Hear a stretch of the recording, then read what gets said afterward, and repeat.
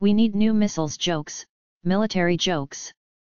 The 1982 Israeli invasion of Lebanon resulted in many dogfights between Syrian and Israeli jet fighters. In the end, the Syrians lost over 80 planes and had a number of SAM batteries knocked out, while the Israelis lost no planes. Some time later, the Syrian defense minister was shopping for weapons in Moscow.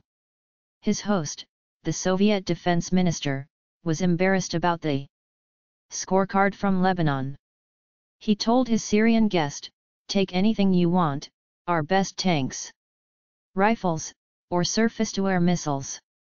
No, no, you don't understand. The Syrian replied. Last time you gave us surface-to-air missiles.